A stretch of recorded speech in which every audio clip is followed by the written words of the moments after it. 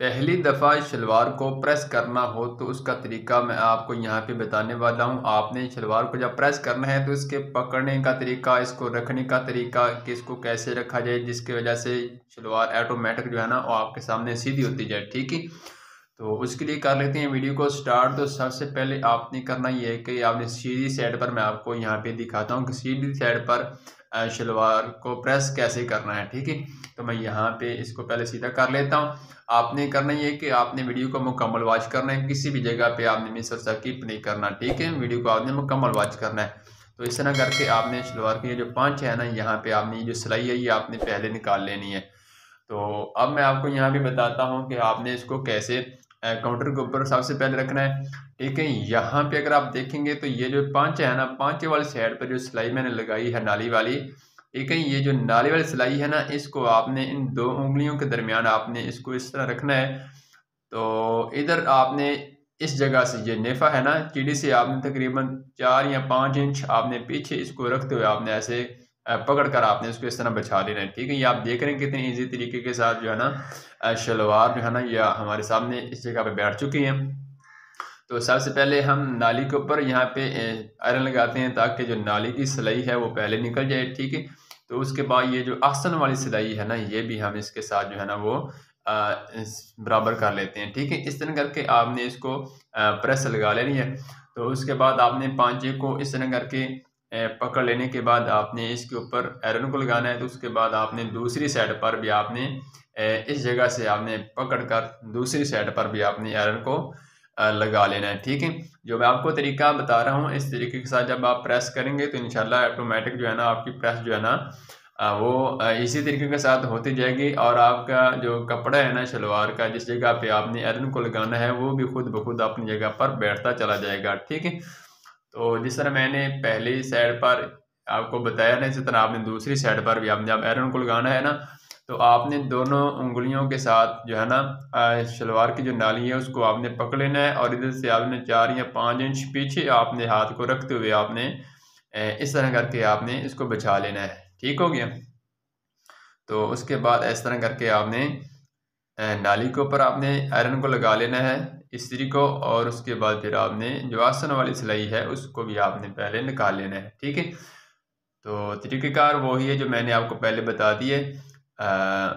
तो आगे इंशाल्लाह आगे आगे मैं आपको बताता हूँ कि आपने जो बकिया शलवार है, वो आपने कैसे आयरन लगानी है, ठीक है? तो मुझे उम्मीद है कि इंशाल्लाह आज की हमारी कावज से आपको बहुत कुछ सीखने को मिलेगा इंशाल्लाह। अगर सीखने को कुछ मिले तो आपने वीडियो को लाइक आपने ज़रूर करना है। अगर चैनल को अभी तक आपने सब्सक्राइब नहीं किया तो चैनल को आप सब्सक्राइब कर लें ताकि जब मैं को वीडियो को अपलोड करूँ तो आपको तक बाजानी वीडियो जो है ना, वो पहुँच सके, ठीक है? तो जब आप यहाँ पे पहुँच चुके तो उसके बाद आपने करना ये कि आसन वाली सिलाई को आपस में मैच कर लेना है ऊपर नीचे वाली, ठीक है? तो ये जो कुंदे और पल्ले वाली जो सिलाई है, ऊपर और नीचे वाली, ये भी आपने साथ मैच कर लेनी है। और इधर आपने ये दो, दोनों चिड़ियाँ जो है ना ऊपर नीचे वाली ये भी आपने साथ बराबर कर लेनी है। तो इस तरह करके आपने शलवार को इस तरह बिछा लेने के बाद सबसे पहले हम यहाँ पे ये सिलाई जो है ना ये निकालेंगे ठीक है? इस तरह आयरन लगा लेनी है आपने ताकि यहाँ पे ये जो सिलाई है वो अच्छी तरीके के साथ बैठ जाए ठीक है?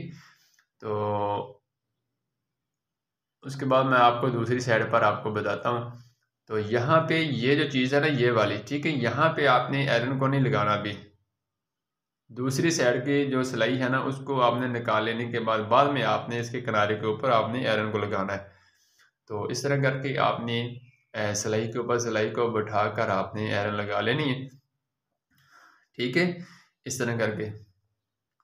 तो अब आपने यहाँ पे इसके किनारे के ऊपर आपने आयरन को लगा लेना, ताकि ये यहाँ पे जो साइड है इसकी, ये भी अच्छे तरीके के साथ बैठ जाए, ठीक है? तो इसी तरह आपने दूसरी साइड पर भी आपने ऐसे ही आयरन लगा लेना है ये जो सिलाइयाँ हैं ना आसन वाली, ये आपने ऊपर नीचे बराबर कर लेनी है और ये जो कुंदे पल्ले वाली सिलाइयाँ हैं, ये भी आपने ऊपर नीचे वाली बिल्कुल आपने एक साथ मैच कर लेनी है, ठीक है? ताकि जब प्रेस हम लगाएँ तो इजी तरीके के साथ लगा सकें, इसमें किसी किस्म जो परेशानी वाला मामला है वो हमारे सामने ना आए, ठीक है? तो इस तरह करके आपने एक साइड पर आयरन को लगा लेना है। तो उसके बाद आपने इस तरह इसको टर्न कर लेने के बाद दूसरी साइड पर भी आपने अच्छे तरीके के साथ आपने आयरन को लगा लेना ठीक है? तो ये बहुत इजी और आसान सा मेथड था। ठीक है? बाद हजरात जो होते हैं ना, उनको पता नहीं चलता कि कपड़े को कैसे पकड़ना होता है, कैसे काउंटर के ऊपर बिछाना होता है। ठीक है? तो उनकी आसानी के लिए मैंने यहाँ पे वीडियो को जो है ना, वो मैंने अपलोड कर दी है। तो ये आप देख रहे हैं, मैंने दोनों तरफ़ में इसकी सिलाइयाँ जो है ना, वो मैंने निकाली हैं एरन लगा कर तो अब इनके फोल्ड करने की बारी है तो आपने करना ये है कि आपने इस तरह करके इसको फोल्ड कर लेना है, ठीक है? ऐसे पकड़ कर काउंटर के ऊपर बिछाना है, ठीक है? और उसके बाद फिर आपने जो आसन वाली साइड है ना, वो आपने कुछ इस तरीके के साथ पकड़नी है। मैं अभी आपको दिखाता हूँ, ठीक है? इस तरह करके आपने पकड़ लेने के बाद ये जो आपको यहाँ से इजाफी बढ़ चुका है ना, इसको आपने अंदर की तरफ़ आपने इस तरह फोल्ड कर लेने के बाद आपने इसकी तीन तहें आपने बना लेनी है, ठीक है? इस तरह करके। तो ये बहुत इजी और आसान सा मेथड था जो मैंने आपके सामने शेयर कर दिया तो मुझे उम्मीद है कि इंशाल्लाह आज की हमारी वीडियो से आपको बहुत कुछ सीखने को मिला होगा।